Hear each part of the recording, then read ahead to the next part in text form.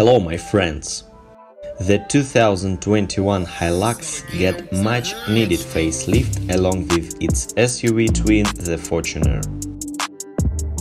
Apart from the new look, the updates on the mid-size pickup are almost skin deep, starting with its engine the 2020 Hilux get a more powerful 2.8 diesel engine, now producing 201 horsepower and 500 Newton meters of torque. Of note, this puts the Hilux on the same ground with its rivals such as the Ford Ranger and Chevrolet Trailblazer. The power output of a 2.4-liter diesel variant retains its current output though.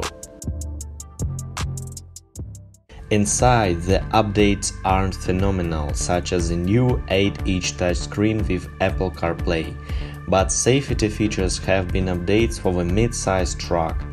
Apart from the usual proximity sensors, the Hilux, at least on its top spec trims, now comes with Toyota Safety Sense.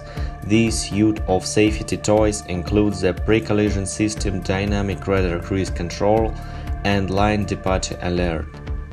The suspension has been improved as well.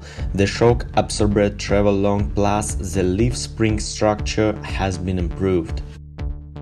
Availability in other markets isn't disclosed at this time, but for Thailand, customer deliveries will commence this month.